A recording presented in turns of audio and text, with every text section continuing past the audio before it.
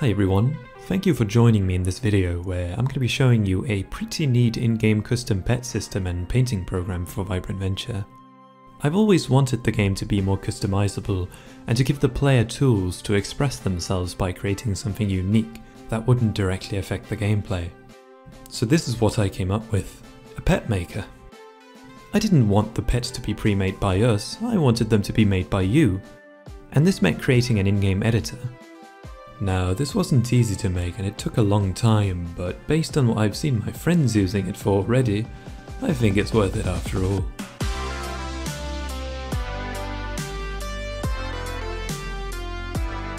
The first and most daunting task was to make the pixel art drawing program inside of Unity. Now, the reason for that is that I think it would be very neat if you could create the pets inside the game without having to exit it and launch some kind of external tool. Although this is quite difficult since you have to go in and make your own pixel art program inside of a game engine, which isn't really meant for that kind of thing. So it shouldn't come as a surprise that that's exactly what I did. Let's have a look at how it works. The first thing I did was to create an empty UI with a white texture on it to use as a canvas. The texture itself is 32 pixels wide and 32 pixels tall, which means this is the size limitations of whatever pet you want to make. Then after that was done, I converted the screen space mouse position into a local grid coordinate, where the bottom left on the grid is 0, 0 and the top right is 31, 31, making it a total of 32 by 32 pixels. Now, textures in Unity have a built-in method called setPixel, which takes in the x and y coordinate as well as a color, and we can use that to set the color of our texture here. Using this method, we're now able to place down pixels at the cursor's position using the grid cursor coordinate that we calculated earlier. So this is the basic idea that we're going to expand upon in order to create more tools. The next tool I'd like to make is of course an eraser. This works in the exact same way, but instead of putting down a colour, it removes the pixel by making it transparent. Now, it is quite boring to only work with a single colour, so the next thing I did was to create a colour wheel. This is actually just a texture, and when you click on it, it samples the texture's colour at your cursor's position in order to set the pencil colour. I also went ahead and added sliders for the red, green and blue channels, as well as input fields so that you have full control over what colour you're using. By the way, have you ever wondered why the red, green and blue or RGB channels are represented by a value from 0 to 255? Well to figure that out we need to talk about bits and bytes. A bit can only have two values, 0 or 1. This is the simplest way a computer can represent data. A byte is made up of 8 bits, meaning that we can have 8 values that all can alter between 0 and 1. Because a bit has two possible values and a byte consists of 8 bits, a byte can obviously hold 2 to the power of 8 values, which equals 256. Now bytes are quite tiny and they take up very little space, so the RGB system is based on 3 bytes, one for each colour channel. As we just calculated, each byte can hold up to 256 values, this means that one single colour can be represented by up to 256 to the power of 3 values, which is an astounding 16,777,216 individual colour values using just 3 bytes. So using this, we can store images very efficiently, which to a computer is just made up of bytes. Anyway, I'm getting sidetracked, so let's get back to the pet maker. I went ahead and added a few sliders to control color brightness and saturation. In the code, the brightness and saturation are just a decimal number between 0 and 1. Now, in order to apply these values, we convert the active RGB color from RGB to HSV, which stands for hue, saturation and value. Then we multiply the saturation and value channels by our saturation and brightness values in order to get the desired result. Now that we have full control over the colour, we should probably get back to adding a few more painting tools. Since we're already talking about colours, we should probably add a colour picker tool. This works in a very similar fashion to the colour wheel, but instead of sampling from the colour wheel texture, it just samples from the canvas texture that you've drawn on, and then it sets the active colour to that colour. Another simple but rather useful tool I added is a grid toggle, which, as the name implies, allows you to easily turn the grid on and off. At this point, the game's artist, Jewel, suggested that there should be a way to move the entire texture in any direction using the arrow keys. I couldn't help but agree, so let's talk about how I implemented that. Let's assume the user presses the right arrow key on their keyboard. This initializes a vertical scan on the far right, which checks if every single pixel there is fully transparent. If not, we cancel the request because moving to the right would move it out of bounds. However, if every pixel is indeed transparent, moving the texture to the right won't actually move it out of bounds, and so the movement algorithm starts. First, it grabs every single colour in the texture and then it stores these colours in a two-dimensional array. Then it loops through the array and offsets every pixel to the right.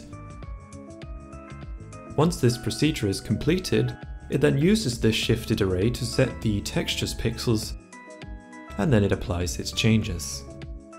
Since we need to handle all four directions, the algorithm ended up being a lot more complicated than I first anticipated, so nothing new there. Now the final tools that we're going to create is a line tool and a flood fill tool, both of which are rather complicated. The line tool uses a C-sharp implementation of Bresenham's line algorithm, and the flood fill tool is implemented using the queue-based forest fire algorithm. In case you're interested, I'll leave a link in the description below to articles describing these algorithms, and I'll also put a link to the source code for the Unity C-sharp implementation. Now, most drawing programs implement undoing and redoing changes, so let's talk about how we can tackle that. We first need to create an array in which we can store every change the user makes to the texture. This array will have a fixed size and I decided to allow up to 16 textures to be recorded so as to not use too much space. I also figured that most people probably won't even undo or redo their changes more than a few times anyway. But we'll just use an array with 5 spaces for the sake of demonstration since it'll make it a lot easier to understand. So here's our array, and we'll need an index value to act as a pointer to the current history index. For every change the user makes, we store the texture's current colors in the array and update this pointer to point to the last element in the texture array. Once the array has been filled out, we shift every texture in the array to the left and add the newest texture to the end of the array. When the user presses undo, we decrement the index pointer and then we fetch the texture stored in the array at that index. Likewise, when the user presses redo, we increment the index pointer and fetch the stored texture here. Once the user starts painting again, we can then erase any entries in the array after the index pointer since the user will have reverted to whichever texture they desired. With our undo and redo system complete, I suggest we figure out how exactly to save and load these pets. Now, since the pet texture is already made up of bytes, this is fairly simple. Unity has a built-in PNG encoder which simply converts a texture into an array of bytes representing a PNG file. Using that, we can then call the system.io function file.writeAllBytes with our newly generated byte array to then save the texture to a location on the machine. And you can see this working right here. Now we need a way to also open these PNG files again, and this is equally as simple. Since a PNG file is really just an array of bytes, we can then use file.readAllByte to then open it as an array of bytes, and then use that to generate our pet texture.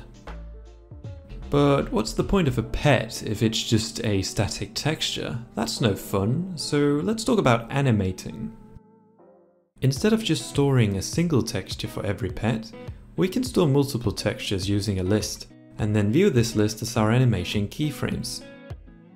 This took a few days to program, but I eventually got a timeline working with a few buttons for adding and removing frames, as well as copying and pasting frames. I also added a UI that allows you to play and pause the animation or change its speed. Now in the same directory where we store the animation frames as PNG files, we can also store any relevant data about the pet as a JSON file, like its name, the animation speed and so on. I then spent a few days expanding this idea by adding state machine support. This is because walking pets need an animation that corresponds to every state that they can be in, like for example walking, idling, falling, swimming, and so on. Finally, I went ahead and added a few quality of life things like being able to change the size of the brush, and then I implemented a UI which allows you to change pets inside of levels as well as actually accessing the pet maker itself. And now it was time to finally implement the pets into the levels so that they would actually follow you around. This required some basic AI for both the walking pets and the flying pets, so after I got that working, well, I think the results speak for themselves.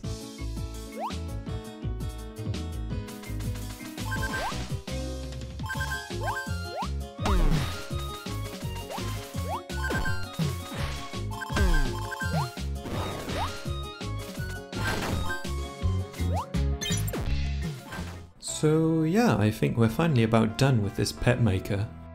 This video took a very long time to make, so I'd appreciate it if you'd leave a like if you enjoyed and maybe even share it with your friends.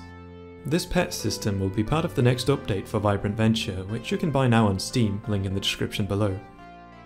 Thank you for watching, and until next time, take care.